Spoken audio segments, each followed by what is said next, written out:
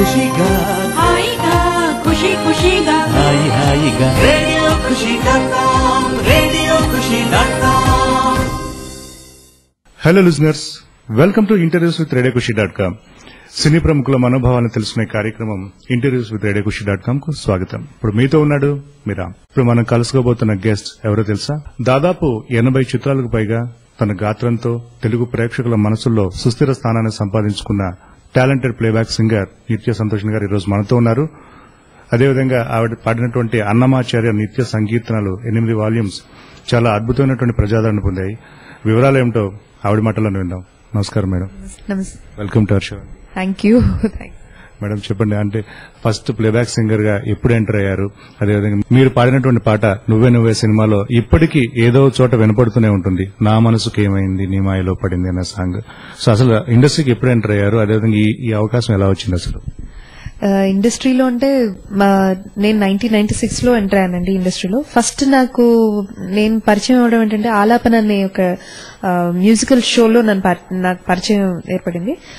So ఆ show చేస్తున్నప్పుడు దుగ్గిరాల గారు అని మ్యూజిక్ డైరెక్టర్ ఆయన నన్ను ఇంట్రడ్యూస్ చేశారనమాట ఆ షో జరిగేటప్పుడు మెడ్రాస్లో ఉన్నప్పుడు చూసి నీలి మేఘాలు అనే చిత్రంలో నాకు ఆఫర్ ఇచ్చారు సాంగ్ ఆ, సాంగ్ నుంచి కూడా నాకు మంచి గుర్తింపు వచ్చింది.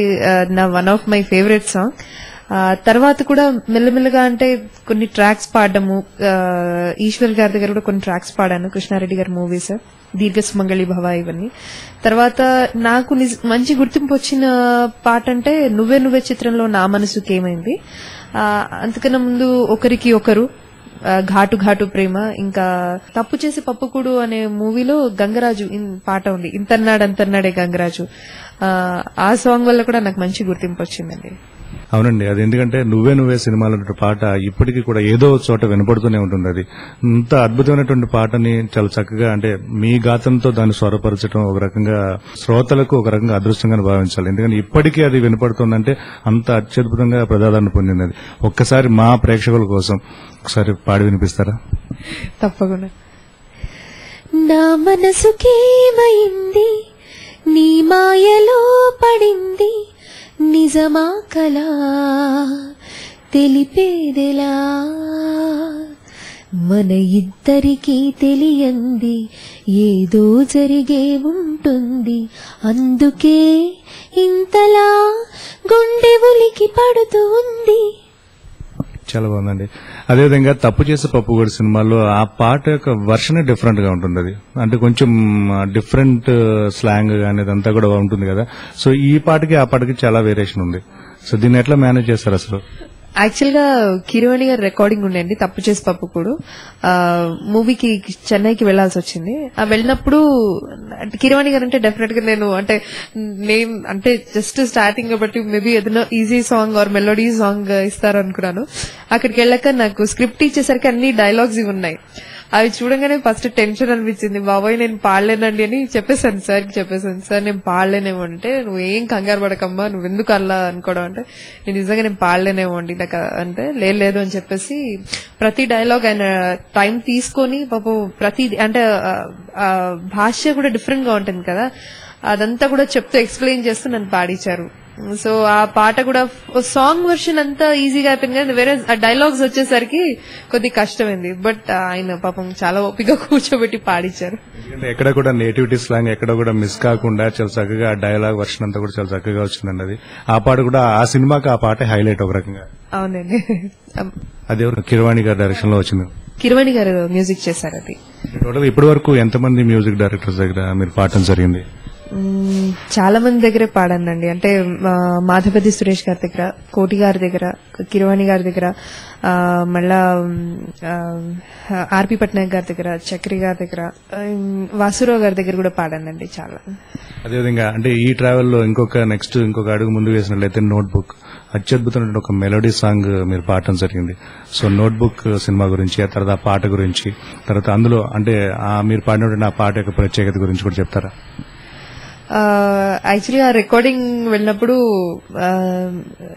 మికిజే మేర్ ఆ అబ్బాయిని యాక్చువల్ విశాల్ విశాల్ అంటాం మేమందరూ. రికార్డింగ్ పిలిచినప్పుడు యాక్చువల్లీ నాకు అసలు ఒంట్లో బాగాలేదు జలుబుగా ఉంది చాలా.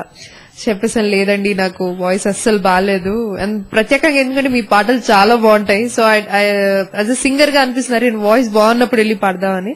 కానీ ఒక మంచి గ్రేట్ మ్యూజిక్ డైరెక్టర్ అండి ఆయన. ఆయన పాపం పిలిచి లేదు మేడం మీరు వచ్చేసండి మీరు వచ్చేసండి మేము చూసుకుంటాం కదా. మీరు ఎందుకు మీరు రండి అని చెప్పారు. కానీ ఆ పాట ట్యూన్ విన్నాక నేను జలుబు ఇవన్నీ కూడా మర్చిపోయాను. అంటే అంత వెరీ మెలోడియస్ సాంగ్ అంటే మేబీ కొన్ని పాటల ట్యూన్స్ అవి వింటుంటే కూడా మనకి అంటారు చూడు మనకి లోపల ఏమైనా జలుబు జ్వరం ఏమైనా ఉన్నా కూడా పోతాయి. సో అది కూడా నాకు మంచి గుర్తింపించిందండి ఆ పాట కూడా. ఇప్పుడు ప్రజెంట్ ఏ సినిమాలకి అంటే పాడారు ఆల్రెడీ రిలీజ్ అయినవి రిలీజ్ కావాల్సినవి ఏమున్నాయి? రిలీజ్ అయిందంటే బంగారు బాబు ఒకటండి.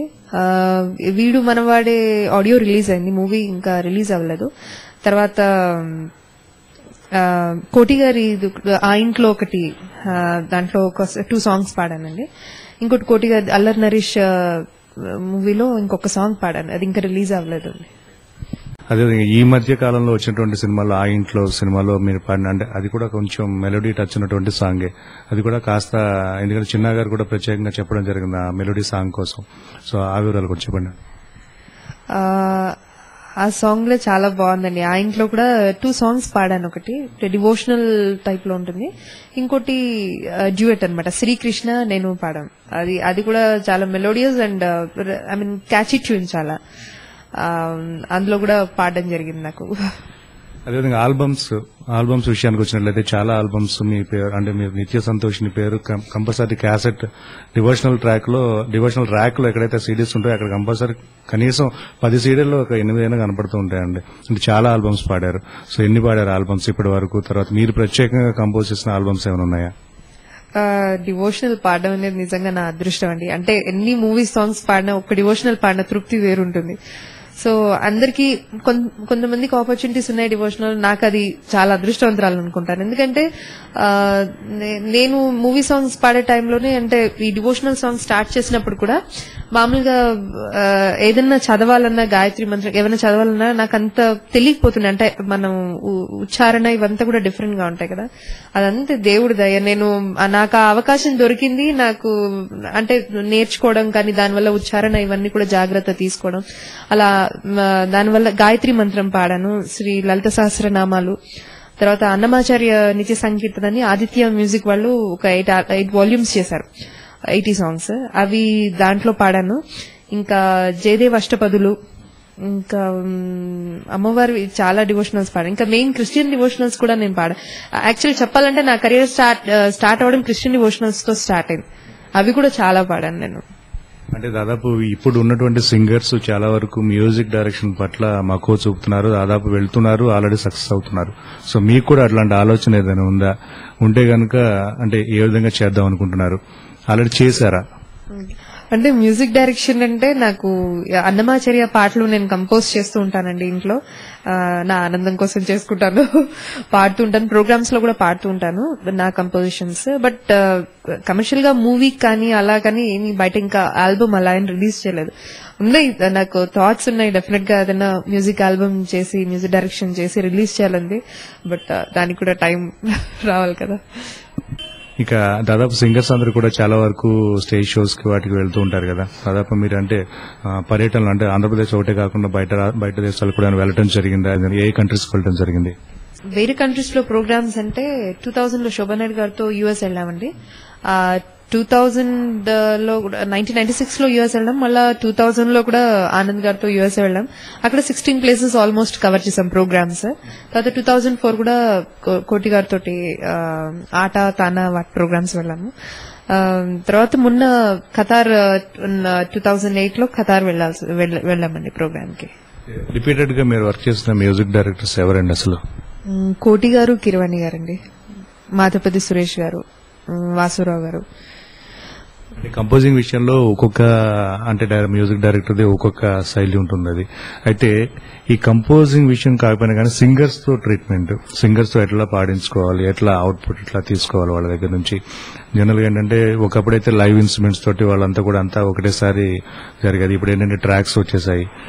ఒకసారి ఆడియో ట్రాక్ వేసుకున్న తర్వాత తర్వాత మ్యూజిక్ కంపోజ్ చేయడం ఇదంతా కూడా అవుతుంది కదండి. సో ఈ ప్రక్రియలో అంటే మీకు బాగా సులువుగా పని తొందరగా అయిపోతుంది. తర్వాత చక్కగా నేను ఈ అవుట్- అవుట్పుట్ తొందరగా ఇచ్చేసి రాగలుగుతున్నాను అనుకున్న మ్యూజిక్ డైరెక్టర్ కానీ మీకు బాగా నచ్చిన మ్యూజిక్ డైరెక్టర్ కానీ ఎవరైనా ఉన్నారా?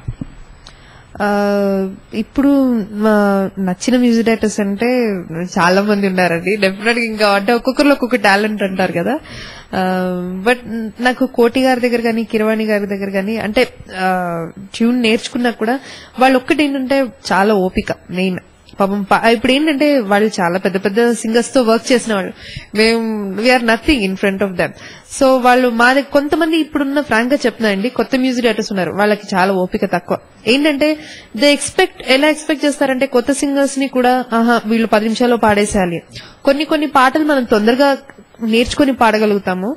కొన్ని కొన్ని పాటలు మనకి టైం పడుతుంది. డైజెస్ట్ అవ్వడానికి ట్యూన్ కూడా ఎక్కడానికి మనకి టైం పడుతుంది రిజిస్టర్ అవ్వడానికి. సో కానీ నేను ఒక్కటి ఏంటంటే కోటి గారు హీరోయిన్ గారు అంటే ఫస్ట్ నుంచి అమ్మో పెద్ద మ్యూజిక్ డైరెక్టర్స్ వాళ్ళ దగ్గర పాడాలంటే భయం అనిపించేది. కానీ ఎంత భయం ఉంటుందో అక్కడికి వెళ్ళాక అంత మళ్ళా అంత అంటే దే- వాళ్ళు అలా మనని ఏంటంటే భయం అనేది పట్టరు.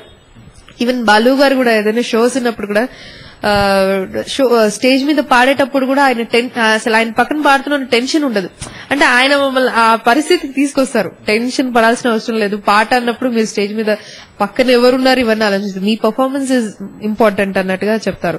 సో కోటి గారి గారి దగ్గర కానీ కిరవాణి గారి దగ్గర కానీ వాసురావు గారు కానీ పాట ఏం ప్రాబ్లం అనిపించదండి నిజంగా. హాయిగా సంతోషంగా వెళ్తాను రికార్డింగ్కి. టఫెస్ట్ సిచ్యుయేషన్ ఎప్పుడైనా ఫేస్ చేశారా? టఫెస్ట్ సిచ్యువేషన్ అలా ఏం లేదండి. To be frank we're lucky మాకు అంత ఇంకా ఆ స్థితికి ఎప్పుడు రాలేదు. యాక్చువల్గా కానీ ఇప్పుడున్న సింగర్స్కి చాలా అడ్వాంటేజెస్ ఉన్నాయండి. అంటే ఈ పాపం నిజంగా పాత సింగర్స్ అప్పుడులో ఉన్న ఇప్పుడు వీళ్ళందరూ జానకి గారు సుశీల గారు వాళ్ళు కష్టపడినంత మా- మాకు లేదు. మాకు నిజంగా చాలా అవకాశాలు వచ్చాయి కాబట్టి ఆ విషయంలో చెప్తే వీఆర్ వెరీ లక్కీ అనుకోండి. బట్ టఫెస్ట్ సిచ్యువేషన్ అయితే ఏం లేదు. బట్ ఏంటంటే ఏదైనా లిరిక్ నచ్చకపోతే చెప్ పాడకుండా వచ్చేసిన ఒక రోజు ఉంది. అంటే ఏదో సమ్ ప్రైవేట్ ఆల్బమ్ పాడేటప్పుడు నాకు లిరిక్ ఎందుకో నచ్చలేదు కొద్దిగా. అయితే చెప్పేసి సారీ చెప్పేసి వచ్చేసాను. అంటే ఒక ఒక రకంగా చూసుకున్నట్లయితే కనుక రచయిత యొక్క ప్రభావం కూడా పాట పైన ఉంటుంది అది అంటే సింగర్స్ పర్ఫార్మెన్స్ సింగర్స్ అంటే ఆ ఎమోషన్ ఎట్లయితే క్యారీ చేయాలో పాటలో అదేవిధంగా రచయిత యొక్క ప్రభావం కూడా పాట పైన ఉంటుంది కదండి. అంటే ఆ పదాల కూర్పు.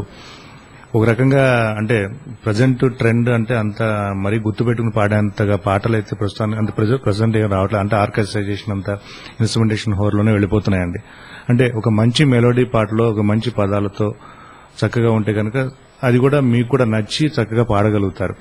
ఎందుకంటే ఈ పదాల కూర్పు అనేది కూడా మేజర్ రోల్ ప్లే చేస్తుంది కదండి. సో ఈ రకంగా అంటే ఒక టఫెస్ట్ సిచ్యుయేషన్ ఫేస్ చేస్తారు కాబట్టి మీరు. అంటే ప్రస్తుత ట్రెండ్ ఎలా ఉంది? మన తెలుగు ఫిలిం ఇండస్ట్రీలో ప్రస్తుతం ట్రెండ్ అంటే అంటే నాకు హిందీ గురించి నేను మాట్లాడలేను కాబట్టి ఏంటంటే అది అంటే ఈ ప్రొడ్యూసర్స్ కానీ మ్యూజిక్ డైరెక్టర్స్ కానీ అంటే ఎవరి ఎవరి ఆలోచన తెలియదు కానీ అంటే ఎంతసేపు ఫాస్ట్ బీట్ నే ఎంకరేజ్ చేస్తున్నారు పబ్లిక్ అంటారు బట్ కాదండి. పబ్లిక్ అన్ని రకాల సాంగ్స్ని డెఫినెట్గా ఇష్టపడతారు.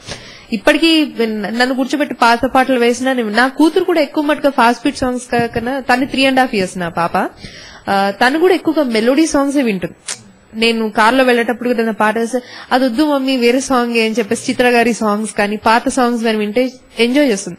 సో కొత్త పాటలే మనం వింటారు అనేది అయితే ఏం లేదండి. అన్ని పాత పాటలు కూడా వినేవాళ్ళు ఉన్నారు. అదేంటంటే ఇక్కడ వీళ్ళు పెట్టేసుకున్నారు ఏంటంటే ఫాస్ట్ సాంగ్ పెడితేనే వింటారు ఆడియన్స్ అనేది తప్పు. రచయిత ప్రభావం ఎలా ఉంటుందండి? అంటే లిరిసిస్ట్ ప్రభావం సింగర్స్ పైన ఏమైనా ఉంటుందా? లిరిక్స్ యాక్చువల్గా నేను కమెంట్ చేసేంత గొప్పదని కాదండి. కానీ మామూలుగా ఇప్పుడు రీసెంట్ ఉన్న కొన్ని మూవీస్లో చూస్తే లిరిక్స్ ఫస్ట్ ఆఫ్ ఆల్ అర్థం కావట్లేదు. ఒకవేళ అర్థమైనా కూడా ఆ లిరిక్ అసలు మీనింగ్ లేకుండా అయిపోతుంది చాలా మటుకు.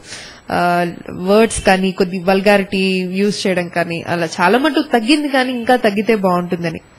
అంటే దానివల్ల ఏంటంటే ఏదైనా స్టేజ్ మీద పాడుకోవాలి ఒక మంచి పాట ఉన్నా ఏదైనా స్టేజ్ మీద పాడాలంటే ఇబ్బందిగా అనిపిస్తుంది పాడాలంటే. చాలా బాగుందండి. అదేవిధంగా ఒక రచయిత కూడా తను కూడా అనుకుంటాడు కదండి. తను పాట రాసినప్పుడు నా పాట ఈ రకమైన ఎక్స్ప్రెషన్లో రావాలి ఈ రకమైనటువంటి భావంతో ఉండాలి అనేటటువంటిది మ్యూజిక్ డైరెక్టర్తో కలిసి ఒక ఒక ఆల్రెడీ ఒక అంచనాగా వచ్చి ఉంటారు వాళ్ళు. ఆ అంచనా సింగర్తో కలిపి హండ్రెడ్ పర్సెంట్ సక్సెస్ అవుతుంది అది సో ఆ సక్సెస్ రేట్ కరెక్ట్గా ఉంటుంది. ఆ సింగర్స్ ఖచ్చితంగా అంటే మన తన ఆ భావాన్ని పలికించగలుగుతున్నారా? ఎందుకంటే ఇదంతా ఒక రకంగా చూసుకుంటే ఒక మ్యూచువల్ కోఆర్డినేషన్లోనే జరిగేటటువంటి వర్క్ కదండి ఇది. సో దానికి మీరేమంటారు? డెఫినెట్గా అండి. ఒక లిరిసిస్ట్ ఒక పాట రాస్తున్నారంటే ఆయన ఆ, సాంగ్లోనే ఆయన థాట్స్ కానీ ఫీలింగ్స్ కానీ ఉంటాయి డెఫినెట్గా. అది ఆయన ఆయన ఆయన ఆల్రెడీ కంపోజ్ చేసేస్తూ ఉంటారు. రాసేటప్పుడే ఈ ట్యూన్ ఇలా ఉంటే బాగుంటుంది అని. తర్వాత ఏదన్నా మార్పులు ఉంటే మ్యూజిక్ డైరెక్టర్ చేయడం లేకపోతే ఆ సాంగ్ ట్యూన్ ఒకవేళ బాగుంది అంటే అదే ఉంచేస్తారు. లేకపోతే ఏమైనా మార్పులు ఉంటే మ్యూజిక్ డైరెక్టర్ లేదండి ఈ చేంజెస్ చేద్దాం. తర్వాత వచ్చి సింగర్ సింగర్ మీద ఆధారపడి ఉంటుంది. ఆ పర్ఫార్మెన్స్ ఐ మీన్ పాడడం అవుట్పుట్ ఎలా ఉందనేది. డెఫినెట్గా um, ఎందుకంటే మేము చాలా రికార్డింగ్స్లో చూసాం కదా ఎవరైనా రికార్డ్ లిరిసిస్ట్ uh, ఎవరైనా ఉన్నా కూడా వాళ్ళకి ఏంటంటే uh, వాళ్ళ ఎక్స్పెక్టేషన్స్ డెఫినెట్గా చాలా హై ఉంటుంది. ఏంటంటే uh, వాళ్ళని రీచ్ అవడం చాలా కష్టం. ఎందుకంటే వాళ్ళలో పాపం ఏంటంటే తప్పిలే. వాళ్ళు ఏంటంటే ఇది నేను ఇలా కంపోజ్ చేసుకున్నానమ్మా అన్నట్టుగా. కొంతమంది సింగర్స్ ఏమవుతుందంటే ఒక్కొక్కరి వాయిస్ కల్చర్ డిఫరెంట్ ఉంటుంది. ఒక్కొక్కరి పాడే విధానం డిఫరెంట్గా ఉంటుంది. ఫీల్ ఎక్స్ప్రెషన్స్ ఎక్స్పీరియన్స్ బట్టి కూడా ఉంటుంది. అప్కమింగ్ ఆర్టిస్ట్కి ఎప్పుడైనా ఎక్స్పీరియన్స్ చాలా ఇప్పుడు అదే పెద్దవాళ్ళు చిత్ర గారు సుశీల గారు అంటే వాళ్ళు ఏ పాటన్నా అవలీలుగా పాడేస్తారు.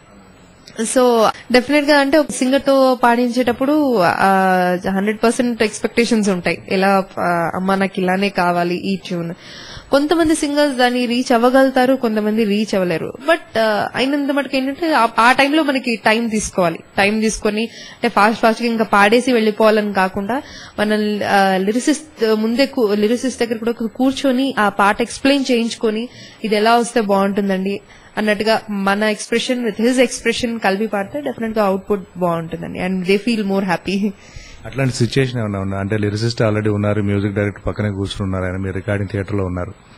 ఉన్నప్పుడు ఖచ్చితంగా అట్లా కాలేదమ్మా కొంచెం ఇట్లా రావాలి నాకు. అట్లాంటి అనుకో అట్లాంటి సిచ్యువేషన్స్ ఫేస్ చేసిన సందర్భాలు ఏమైనా ఉన్నాయా?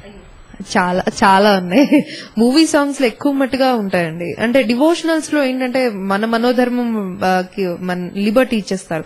వెరాస్ మూవీ సాంగ్స్ అంటే సిచ్యువేషన్ బట్టి ఉంటుంది. ఆన్ స్క్రీన్తో కలవాలి కాబట్టి డెఫినెట్గా వాళ్ళు ఏంటంటే ఎక్స్ప్రెషన్ ఎక్కువగా ఎక్స్పెక్ట్ చేస్తారు. నాట్ ఓన్లీ మ్యూజిక్ డైరెక్టర్ ఒక లిరిసిస్ట్ కూడా ఎక్స్పెక్ట్ ఎక్స్పెక్ట్ చేస్తారు డెఫినెట్గా. దీనికి సంబంధించి ఏదైనా మీకు గుర్తున్నటువంటి సంఘటన ఏదైనా మా ప్రేక్షకులతో పంచుకుంటారా? ఓకే. అంటే తప్పు చేసి పప్పుకుళ్ళో సాంగ్ ఉంది కదండి గంగరాజు పాట ఇంత సాంగ్ వర్షన్ అంతా ఫాస్ట్గా అయిపోయింది. ఆ, మ్యూజిక్ డైరెక్టర్ చూసుకున్నారు. వెరస్ ఈ డైలాగ్ సెవెన్ వచ్చేసరికి డెఫినెట్గా ఎందుకంటే నాది బేసికలీ తెలంగాణ కాబట్టి ఆంధ్ర గోదావరి స్లాంగ్ అది అర్థం చేసుకొని పాడాలంటే ఎప్పుడు అలవాట్లేదు మాట్లాడడం కూడా. సో డెఫినెట్గా అది వచ్చేంత వరకు అవుట్పుట్ వచ్చేంత వరకు లిరిసిస్ట్ అంటే అంటే ఆయన పాపం కూర్చొని ఆయన కూడా ఓపిక్గా అంటే పాపం విసుగుపడిపోయి రావట్లేదు. అలా కాకుండా టైం తీసుకొని వాళ్ళు నాతో ఆ డైలాగ్స్ చెప్పించుకున్నారండి. అదేవిధంగా ఒక రకంగా చెప్పాలంటే ఒక అద్భుతమైనటువంటి ప్రక్రియ సింగర్ దగ్గరే ఉంటుందండి. ఎందుకంటే ఒక నటుడిని తీసుకున్నట్లయితే నటిని కానీ తీసుకున్నట్లయితే వాళ్ళ హావభావాలతో వాళ్ళ ఎక్స్ప్రెషన్ వాళ్ళ డైలాగ్ డెలివరీతో చెప్పేయగలుగుతారు. బట్ వెరీ మన um, singers point of view వచ్చినట్లయితే ఆ పాటలో ఉన్న భావం ఆ సినిమాలో ఉన్నటువంటి ఆ సిచ్యుయేషన్కి రెండు మిక్స్ చేసుకుని ఆ ఎక్స్ప్రెషన్ వాయిస్లో పలికించగలగాలి. సో దీనికి మీరేమంటారు? అంటే సాంగ్ రికార్డింగ్ టైంలో ఇది కూడా ఒక భాగంగానే వీళ్ళు చూసుకుంటూ ఉంటారు? సింగర్స్ మ్యూజిక్ డైరెక్టర్ అంతా కూడా? చాలా అది డెఫినెట్గా అండి. ఎందుకంటే అది అసలు చాలా కష్టమైంది కూడా. ఎందుకంటే అందులో బాలు గారు గాని బాలు గారు అయితే అసలు ఇప్పుడు కృష్ణ గారు గాని నాగేశ్వరరావు గారు గాని రామారావు గారు గాని ఎవరి వాయిస్ ఎవరి వాళ్ళు చూస్తున్నా మనకు బాలు గారు కనిపించరు. డెఫినెట్గా కృష్ణ గారు అంటే కృష్ణ గారి వాయిస్ ఏమో ఇది అంటే మేము చిన్నప్పటి నుంచి మూవీస్ చూస్తున్నాం కదా. అది అంటే వెరీ ఫ్యూ అండి అందరికీ రాదు అది గిఫ్ట్. మళ్ళా చిత్ర గారు కూడా సుశీల గారు జానకి గారు అది ఎక్స్పీరియన్స్తో పాటు అందులో అప్పుడు వాళ్ళు ఉన్న రికార్డింగ్స్ ఆ టైంలో అండి పాతకాలంలో రికార్డింగ్స్ కూడా లైవ్ జరిగేవి ఎక్కువగా. ఇన్స్ట్రుమెంట్స్ విత్ ఇన్స్ట్రుమెంట్స్ అంతా లైవ్ రికార్డింగ్ అది. ఒక మిస్టేక్ పోయినా మళ్ళీ వాళ్ళు చేసేవారు. మిస్టేక్స్ పోకపోతుండేది బట్ ఏదైనా మిస్టేక్ జరిగినా కూడా మళ్ళీ రీటేక్ చేసేవారు. సో అప్పట్లో ప్రాక్టీస్ ఉండేది. వాళ్ళు దాని దగ్గర ఆడియో రికార్డింగ్ అవే అయ్యేటప్పుడు కూడా యాక్టర్స్ వచ్చి లిప్ లిప్సింగ్ చూసుకుని వెళ్ళేవాళ్ళంట అంటే వీళ్ళు ఎలా ఎక్కడ బ్రెత్ తీసుకుంటున్నారు ఎక్కడ ఎలా ఉంది వీళ్ళ ఆ, ప- పలకడం ఎలా ఉంది అని చూసుకొని అందుకనే ఈ రోజుల్లో ఐ మీన్ లిప్సింగ్ చూడడం చాలా తక్కువ. దూరం నుంచే చూస్తారు తప్ప దగ్గర నుంచి. ఎందుకంటే అప్పటికి ఇప్పటికి డిఫరెన్స్ చాలా ఉంది. మీరు చెప్పినట్టుగానే చాలా వరకు అంటే కొన్ని కొన్ని బిట్స్లో ఏం మూమెంట్ లిప్ మూమెంట్ ఏం లేకుండా డైరెక్ట్ సాంగ్ వెళ్ళిపోతూ ఉంటుంది వాళ్ళు మామూలుగానే డాన్స్ చేస్తూ ఉంటారు. బ్యాక్గ్రౌండ్ సాంగ్ లాగా డిపెండ్ అవ్వడం అయిపోయింది ఇప్పుడు. బీజిఎంస్ మటుకు వాళ్ళు కొన్ని కొన్ని బిట్స్ మటుకు పాడుతూ ఉంటారు. కొంతమంది అండి. అంటే ఏంటంటే మన తెలుగు యాక్టర్ యాక్ట్రెస్ కానీ వీళ్ళు ఉంటే వాళ్ళ మీద డిపెండ్ అయ్యి లేకపోతే వాళ్ళ మీద కొద్ది నమ్మకం ఉండే ఉన్న సాంగ్ వాళ్ళకి ఇచ్చి నేర్చుకోవడం కానీ జరుగుతుంది. కానీ ఆల్మోస్ట్ అంతా నార్త్ నార్త్ ఇండియన్సే ఉన్నారు మన ఫిలిం దాంట్లో కూడా. సో వాళ్ళ తెలుగు పాటలు పాడడం కానీ లిప్సింగ్ అయితే కష్టమే. ఆల్మోస్ట్ బ్యాక్గ్రౌండ్ సాంగ్స్ చూస్తాం కాబట్టి. జనరల్గా ఈ సింగర్స్ అంటే పర్టికులర్గా మ్యూజిక్ డైరెక్టర్కి పర్టికులర్గా అంటే సింగర్స్ కొంతమంది ఆల్రెడీ టీం ఉంటారు. అట్లా కాకుండా ఈ పర్టికులర్ సాంగ్ ఫలానా సింగర్ అయితే బాగుంటుంది ఫలానా వాళ్ళతో పాడిస్తే కాస్త ఆడియో కూడా ప్లస్ అవుతుంది అనుకునేటువంటి ఆ జడ్జిమెంట్ ఎవరిస్తారు? అంటే మ్యూజిక్ డైరెక్టర్ చేతిలో ఉంటుందా లేదంటే ప్రొడ్యూసర్ చేతిలో ఉంటుందా? అది జడ్జిమెంట్ ఎవరిస్తారు అసలు యాక్చువల్లీ ఆవిడ చేతి పాడిస్తే పాటకు పాటకి న్యాయం చేసినట్లే. ఎక్కువగా ఎక్కువగా అయితే మ్యూజిక్ డైరెక్టర్ చాయిస్ ఉంటుందండి. ఎందుకంటే మ్యూజిక్ డైరెక్టర్ తెలుస్తుంది ఈ పాట ఎవరు పాడితే బాగుంటుంది అనేది. ఎందుకంటే వాళ్ళు కంపోజ్ చేసుకునేటప్పుడే ఆ సింగర్ కోసం పట్టి ఈ సాంగ్ మెలోడీ సాంగ్ అంటే ఫర్ ఎగ్జాంపుల్ చిత్ర గారు అంటే ఆవిడ కోసం కంపోజ్ చేయడం కానీ మ్యూజిక్ డైరెక్టర్స్ ఉంటుంది. ఇంకోసారి ప్రొడ్యూసర్స్ చాయిస్ కూడా ఉంటుందండి. మాకు మా ఈవిడ పాడాలండి అన్నట్టుగా. సో డెఫినెట్గా అంటే ఒక్కోసారి మ్యూజిక్ డైరెక్టర్స్ ఉంటుంది ఒకసారి ప్రొడ్యూసర్స్ ఉంటుంది. జనరల్గా ఏ పాట పాడటానికి ఇష్టపడతారని మీరు? అంటే బాగా చాలా హ్యాపీగా అంటే వర్క్ సాటిస్ఫాక్షన్ మీకు ఏ ఏ పాటలో దొరుకుతుంది అంటే మా మాస్ నెంబరా లేదంటే ఫాస్ట్ బీటా మెలోడియా? వర్క్ సాటిస్ఫాక్షన్ అంటే ఫస్ట్ uh, డివోషనల్స్ అండి నో డౌట్. Uh, అందులో uh, ఆనందం ఎందుకంటే మెయిన్ డివోషనల్స్ గురించి ఎందుకు చెప్తున్నా అంటే ఇంట్లో దేవుడి ముందు కూర్చున్నా కూడా మేబీ అంత మనం భక్తిగా అంటే మహా అయితే దండం పెట్టుకుంటే కళ్ళు మూసుకొని దండం పెట్టుకుంటా లేదు బట్ వేరే సింగర్గా ఎక్స్పీరియన్స్ అయింది ఏంటంటే రికార్డింగ్స్లో పాడేటప్పుడు కూడా కొన్ని డివోషనల్ సాంగ్స్ పాడేటప్పుడు తెలియకుండా అంటే నిజంగా ఏదైనా అమ్మవారి పాట పాడుతుంటే నిజంగా అమ్మవారి కళ్ళకు కనిపిస్తుంది. సో ఆ ఎక్స్పీరియన్స్ నేను మామూలుగా ఇంట్లో కూర్చుంటే రాదు. ఇంట్లో కూర్చొని పూజ చేసుకుంటే రాదు. సో వర్క్ సాటిస్ఫాక్షన్ ఉంటుంది. అట్ ద సేమ్ టైం మనకి ఒక అంటారు ఒక తృప్తి ఉంటుంది నిజంగా. తర్వాత నాకు మెలోడీ సాంగ్స్ అంటే ఇష్టం అండి. వినడం ఇష్టము పాడడం కూడా ఇష్టం. ఎక్కువగా అయితే ఫాస్ట్ నెంబర్స్ పాడాలని కూడా ఇంట్రెస్ట్ అంటే నాకేంటంటే నాకు నాకు ఫాస్ట్ నెంబర్స్ అంటే మాస్ పాటలు కానీ లేకపోతే ఫోక్ సాంగ్ కానీ ఏదైనా ఫాస్ట్ నెంబర్స్ కానీ వెస్టర్న్ సాంగ్స్ అవి చాలా ఇష్టం. రక్షణ అనే మూవీ కూడా వచ్చింది తమిళ నుంచి తెలుగులో తీశారు. అందులో కూడా కొన్ని టూ సాంగ్స్ నేను ఫాస్ట్ నెంబర్స్ పాడాను. సో అదొక హ్యాపీనెస్ డెఫినెట్గా మేడం మీ అభిమాన సింగర్ ఆ, చాలా మంది ఉన్నారండి. సుశీల గారు బాలు గారు జానకి గారు చిత్ర గారు తర్వాత రీసెంట్ ఏసస్ గారు ఇష్టం. తర్వాత నాకు రీసెంట్లో రీసెంట్గా అంటే నాకు శ్రేయా ఘోషల్ వాయిస్ అంటే చాలా ఇష్టం. ఆ అమ్మాయి పాటలు అంటే నాకు చాలా ఇష్టం. జనరల్గా ఈ రికార్డింగ్స్ టైంలో అంటే సాంగ్ ప్రిపరేషన్ ఏ విధంగా మొదలవుతుందండి? అసలు ఈ ప్రక్రియ ఎలా మొదలవుతుంది? అసలు first of all lyricist lyric ఇచ్చిన తర్వాత మ్యూజిక్ డైరెక్టర్ కంపోజ్ చేసుకుంటారు ట్యూన్ కంపోజ్ చేసుకున్న తర్వాత సింగర్ని పిలుస్తారు. పిలిచిన తర్వాత ఫస్ట్ అసలు ఎక్కడి నుంచి మొదలవుతుంది ఆ సాంగ్ రికార్డింగ్ పని అసలు ఎక్కడి నుంచి మొదలవుతుంది? ఫస్ట్ మ్యూజిక్ డైరెక్టర్ ట్రాక్ అవన్నీ తీసేస్తారండి. అంటే ఇప్పుడు మనకి టెక్నికల్గా చాలా ఫెసిలిటీస్ ఉన్నాయి కాబట్టి మామూలుగా ఇప్పుడు కీబోర్డ్ ఫ్లూట్ ఏం మనకి ఏం మెలోడీ సాంగ్ అంటే ఇన్స్ట్రుమెంట్స్ అవన్నీ ఫీడ్ ఫీడింగ్ వర్క్ ఇదంతా అయిపోయాక అప్పుడు స్టూడియోకి వెళ్ళి వాళ్ళు డంప్ చేశాక ఆ తర్వాత ఏమైనా ఇన్స్ట్రుమెంట్స్ ఏమైనా ఉంటే మిక్స్ చేస్తారు. ఆ తర్వాత ఫైనల్గా అంత ట్రాక్ వర్క్ అంతా అయిపోయిందన్నాక అప్పుడు వాయిస్ వాయిస్ మిక్సింగ్కి పిలుస్తారు సింగర్స్ని. లిరిక్ ఇవంతా రెడీ చేసుకున్నాక మ్యూజిక్ డైరెక్టర్ ప్రొడ్యూసర్ లిరిసిస్ట్ వీళ్ళందరూ ఉంటారు. మాకు సాంగ్ నేర్చుకోవడానికి అక్కడ కొద్ది టైం ఇస్తారు ఒక ఫిఫ్టీన్ టు ట్వంటీ మినిట్స్ మొత్తం కంప్లీట్గా సాంగ్ మొత్తం నేర్చుకోవాలండి మొత్తం అంతా? డెఫినెట్గా అండి. ఈ సాంగ్ నేర్చుకుని నేర్చుకున్న కొద్ది టైం ఇచ్చి ఒక రెండు మూడు సార్లు ట్రాక్స్ ట్రాక్ విత్ ట్రాక్ పాడతాము.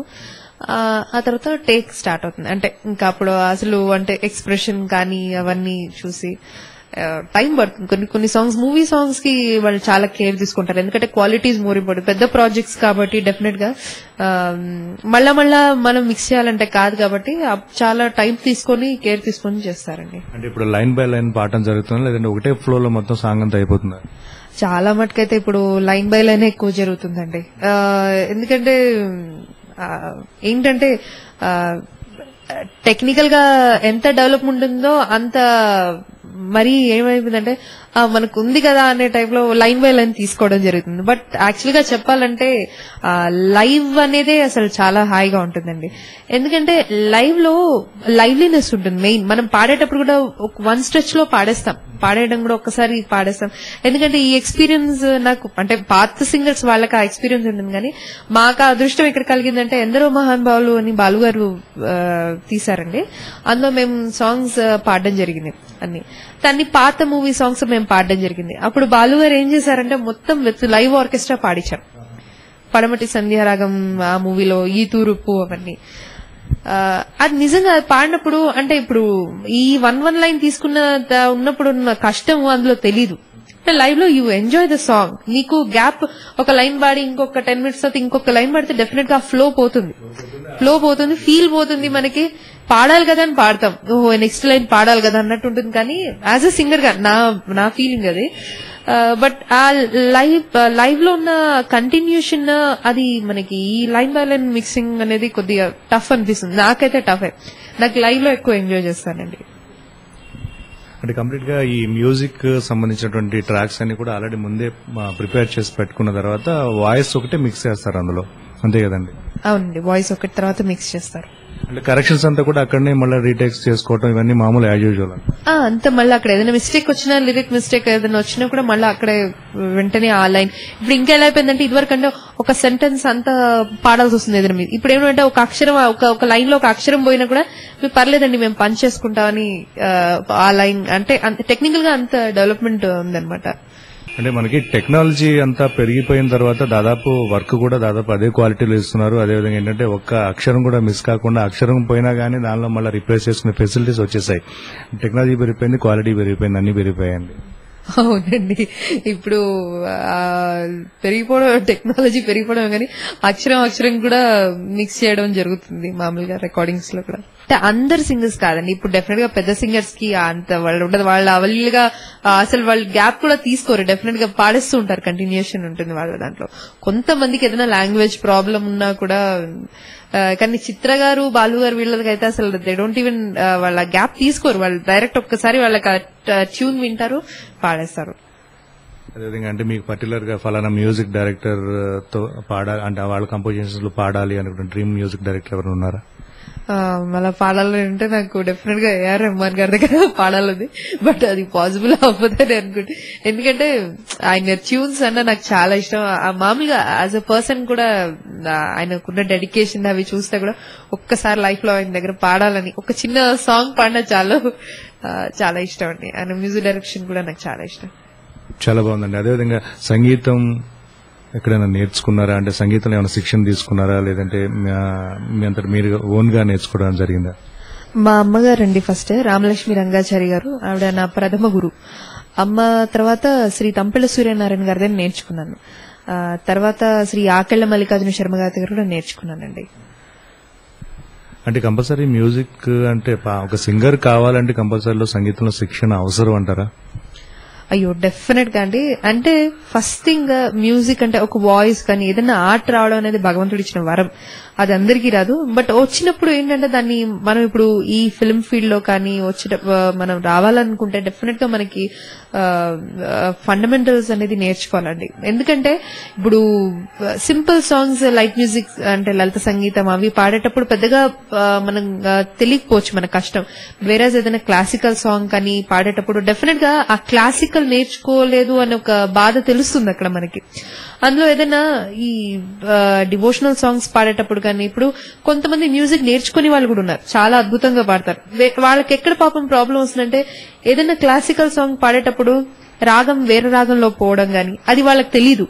అది మ్యూజిక్ నేర్చుకుంటే ఏంటంటే ఓహో మనం ఈ వేరే రాగంలో పోతున్నామేమో అయ్యో వేరే రాగం తప్పుతుందేమో అని ఒక తెలుసు మన మిస్టేక్ ఏంటో మనకు తెలుస్తుంది. మ్యూజిక్ నేర్చుకోకపోతే డెఫినెట్గా ఏంటంటే మనం అరే మనం చేసే మిస్టేక్ ఏంటో మనకు తెలియదు అట్లీస్ట్ మనము మనకు టైం తీసుకోవాలన్నా కూడా ఓహో మన ఈ రాగం తప్పుతుందే మనం అనేది వాళ్ళకి తెలియదు సో ప్రతి సింగర్కి ఎంతైనా మ్యూజిక్ నేర్చుకుంటే బాగుంటుంది. నొటేషన్స్ గానీ ఇప్పుడు రికార్డింగ్స్ వెళ్తే పాట మ్యూజిక్ డేటా చెప్పేటప్పుడు నొటేషన్ రాసుకోవడం మనకి అడ్వాంటేజ్ ఉంటుంది డెఫినెట్గా టైం టైం కూడా సేవ్ అవుతుంది మనకి. నొటేషన్ రాసుకుంటే మనకి నాలెడ్జ్ మనకి నేర్చుకు నేర్చుకున్నది ఉంటుంది. అండ్ మ్యూజిక్ నేర్చుకుంటుంటే కూడా గమకాలు క్లాసికల్ సాంగ్ ఇప్పుడు ఆ, అదేంటి చంద్రముఖిలో క్లాసికల్ నంబర్ ఉంది. డెఫినెట్ ఎందుకంటే ఇప్పుడు మళ్ళీ క్లాసికల్ నంబర్స్ కూడా మళ్ళీ తీసుకొస్తున్నారు మ్యూజిక్ డైరెక్టర్స్ కూడా. అలాంటప్పుడు మ్యూజిక్ నాలెడ్జ్ ఉంటేనే బాగుంటుంది. అవేర్నెస్ ఇప్పుడు ఇప్పుడు వచ్చిందండి ఎందుకంటే మధ్యకాలంలో అంత అంటే వాయిస్ ఉంది బాగా పాడుతున్నారని రావడం అలా జరిగిపోయింది. బట్ ఇప్పుడు ఈ రియాలిటీ షోస్ వల్ల కూడా పాడతా తీగ ఇంకా సునాద వినోదిని ఇంకా వేరే షోస్ ఇవి దీని వల్ల కూడా అవేర్నెస్ పెరిగింది పిల్లల్లో కానీ మ్యూజిక్ నేర్చుకోవాలి. ఎందుకంటే కాం- చాలా కాంపిటీషన్ ఉంది. అండ్ కాంపిటీషన్ కూడా ఏదో రెండు పాటలు పాడేసి వెళ్ళిపోవడం కాదు. అక్కడ క్లాసికల్ నంబర్స్ అడుగుతున్నారు సెమీ క్లాసికల్ అడుగుతున్నారు.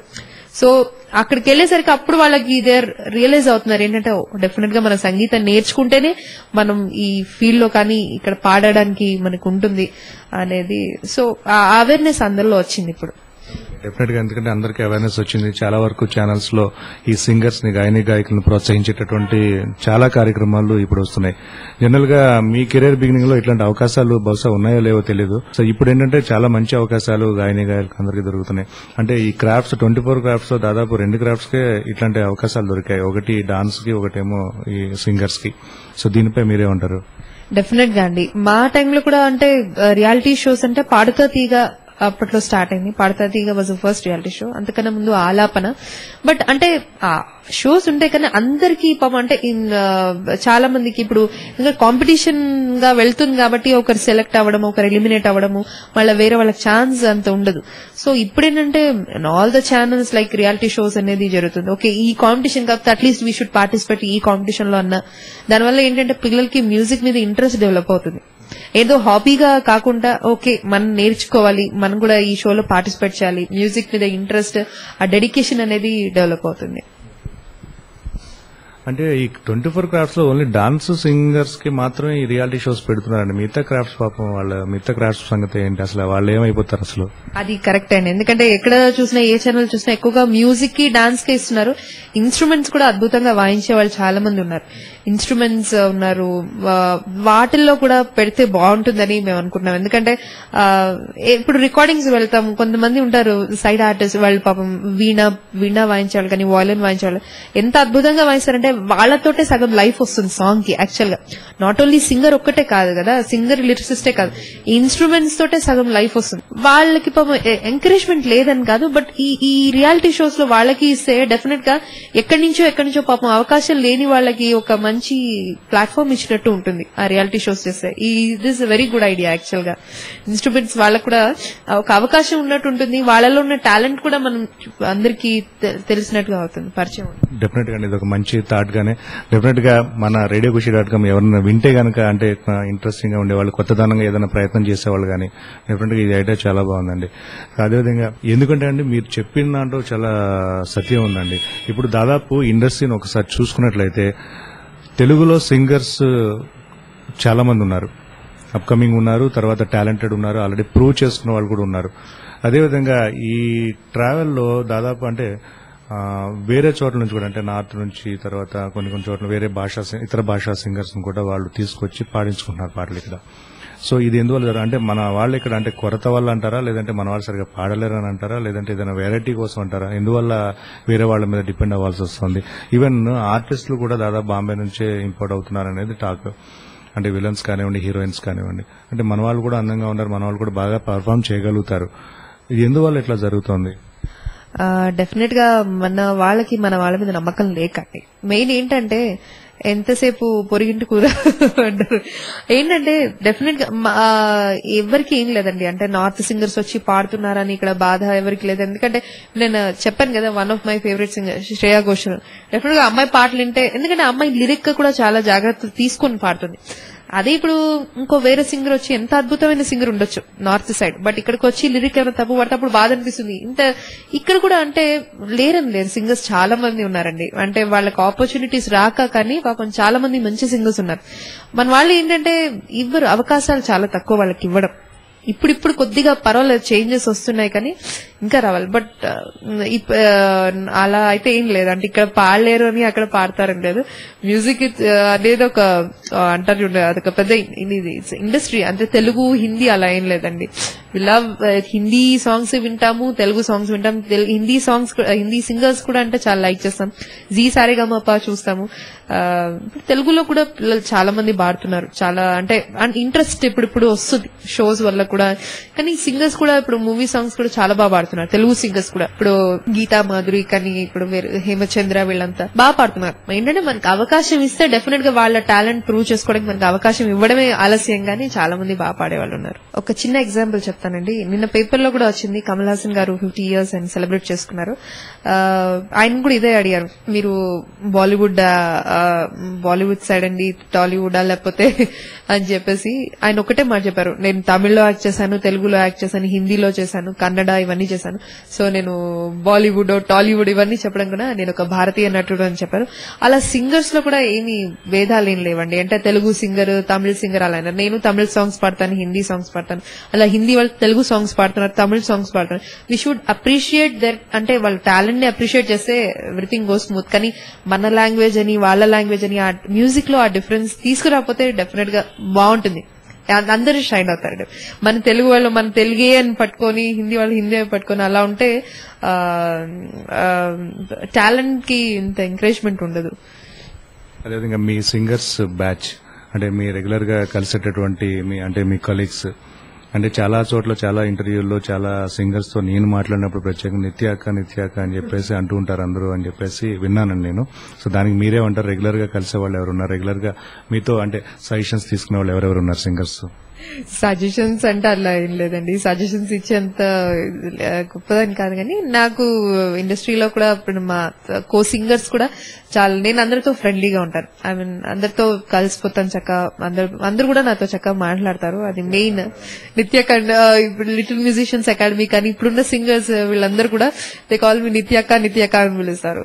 చాలా సంతోషం అనిపిస్తుంది. మెయిన్ వాళ్ళందరూ పాడుతూ ఉంటే కూడా వాళ్ళు ఏదైనా ఏదైనా డౌట్ వచ్చినా లేకపోతే ఏదైనా మ్యూజిక్ గురించి ఏదైనా అడగాలన్నా లేకపోతే ఏదైనా సిచ్యువేషన్ ఏదైనా ఫేస్ చేసినప్పుడు కూడా అక్క ఇలా అయింది ఇలా ఎక్స్ప్లెయిన్ చేసినప్పుడు నాకు తోచింది నేను చెప్తాను. అంత అంత తెలుసు అని కదా ఏదైనా ఎక్స్పీరియన్స్ ఉంటే ఓకే ఇలా చేస్తే బాగుంటుందమ్మా ఇలా ఉంటే.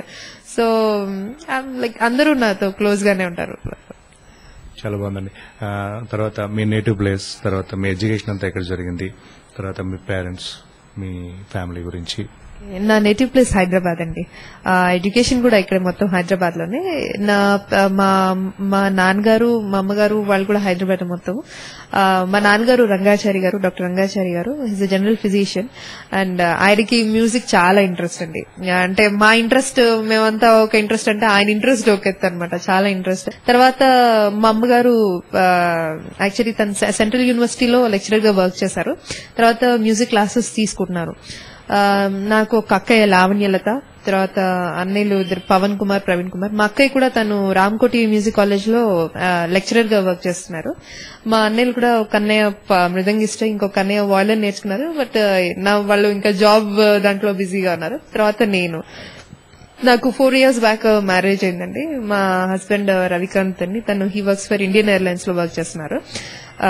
ఆయన ఎంకరేజ్మెంట్ కూడా లక్కీగా చెప్పాలంటే అమ్మా నాన్నతో ఐ మీన్ అమ్మా నాన్న దగ్గర ఎంత ఫ్రీగా ఉండేదనో రికార్డింగ్స్ ఏమైనా ఉన్నా కూడా అయ్యో లేట్ అయిపోయింది అలానే మనకు టెన్షన్ ఉండదు తల్లి- తల్లి దగ్గర ఉన్నప్పుడు మనకు ఆ టెన్షన్ ఆ, దేవుడి దయ వల్ల నాకు మా వారు కూడా నాకు అంత ఎంకరేజ్మెంట్ ఇస్తారు అంత ఫ్రీడమ్ ఇస్తారు మెయిన్ ఏదైనా రికార్డింగ్ పంప్ ఈవినింగ్ లేట్ అయినా కూడా నాకు ఇలా అయ్యో ఇంట్లో ఏమనుకుంటారు ఆ టెన్షన్ లేదు.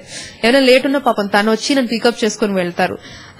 సో ఆ విషయంలో ఐఎమ్ వెరీ లక్కీ అండ్ నా పాప నిత్య కళ్యాణి తను త్రీ అండ్ హాఫ్ ఇయర్స్ ఇందాక చెప్పినట్టుగా తనకి మ్యూజిక్ అంటే చాలా ఇష్టం అండి. అంటే వింటూ ఉంటుంది డివోషనల్ సాంగ్స్ వింటుంది మెలోడీ సాంగ్స్ వింటుంది. డాన్స్ మ్యూజిక్ అంటే చాలా ఇష్టం. తర్వాత బాబు తను కూడా ఎలా అంటే రికార్డింగ్స్ ఎక్కడికైనా వెళ్ళినప్పుడు కూడా తను నాతో వస్తుంది. చాలా మటుకు వస్తుంది. ఎందుకంటే నాకు ఇష్టం. ఎందుకంటే తనకి తెలియాలి ఎలా ఉంటుందో సాంగ్స్ అంటే ఆ మ్యూజిక్ ఇంట్రెస్ట్ అనేది వస్తే బాగుంటుంది కదా అని తీసుకెళ్తాను.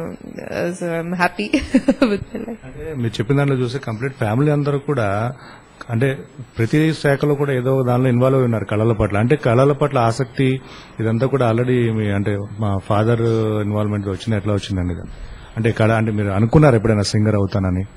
ఆ, అలా ఏం లేదండి. మా అమ్మగారి వాళ్ళ నాన్నగారు ఉన్నారు కదా మా తాతయ్య గారు అమ్మ వాళ్ళ నాన్నగారు. ఆ, వాళ్ళు వీరబ్రహ్మం గారి మేము, వీరబ్రహ్మ గారి ఆరాధన జరుగుతున్నప్పుడు భజన్స్ ఇవన్నీ చేసేవారు. మా తాతయ్య గారి పేరు దుబ్బాక కిష్టయ్య. ఆయనకి మ్యూజిక్ అంటే చాలా ఇష్టం. ఆయన దయ వల్ల మా అమ్మగారికి మా అమ్మగారికి నేర్పించడం జరిగింది చెన్నైలో. ఆ, క్లాసికల్ నేర్పించి ఆడ. కానీ మూవీస్లో అమ్మ ఎక్కువ వెళ్ళలేకపోయారు. ఆ టైంలో అంత అంటే అంత ఫ్రీడమ్ గానీ అంత స్కోప్ బట్ మా తాతగారు చాలా కష్టపడి మ్యూజిక్ నేర్పించి టూ ఇయర్స్ చెన్నైలో ఉండి అలా.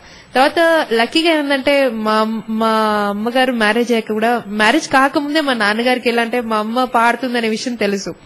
సో చాలా ఇష్టం ఉంది. ఆయన కూడా మ్యూజిక్ అంటే చాలా ఇష్టం. ఇష్టం ఉండి నేను పా- పాడే అమ్మాయినే చేసుకుంటానని ఖచ్చితంగా మా అమ్మగారిని చేసుకున్నారు. ఆ తర్వాత ఆ, దేవుడి దయ వాళ్ళ బ్లెస్సింగ్స్ మాకు ఆ మ్యూజిక్ నేర్పించిన అమ్మ కూడా చాలా కష్టపడ్డారు. మాకు మ్యూజిక్ అంటే చిన్నప్పుడు పిల్లలు వేసుకుని నలుగురు పిల్లలు వేసుకుని బాల్భవన్లో తిరిగి మ్యూజిక్ క్లాసెస్ చెప్పించి తర్వాత మా- అక్కయ్య తనేమో లెక్చరర్ కాబట్టి తను క్లాసికల్ సైడ్ ఎక్కువ డివోషనల్స్ ఇవన్నీ పాడుతుందండి. నేను నా- ఈ మూవీ సాంగ్స్ డివోషనల్ సాంగ్స్ ఇందులో వచ్చాను నేను. చాలా బాగుందండి. మీ మనసులోని భావాలు మా రేడియో కృషి డాట్ కామ్ శ్రోతలందరితో కూడా పంచుకున్నందుకు అదేవిధంగా భవిష్యత్తులో కూడా మీరు ఇంకా మంచి మంచి పాటలు పాడాలి. ఇంకా ఉన్నత శిఖరాలు అధిరోహించాలని చెప్పి మా రేడియో కృషి డాట్ కామ్ శ్రోతలందరి తరపున మా టీం అందరి తరపున కూడా wish you all the best thanks అండి. నాకు ఇంత మంచి అవకాశం ఇచ్చినందుకు ధన్యవాదాలు. థ్యాంక్ యూ ఖుషిగా. ఖుషి ఖుషిగా. Radio Khushi dot com radio Khushi dot com.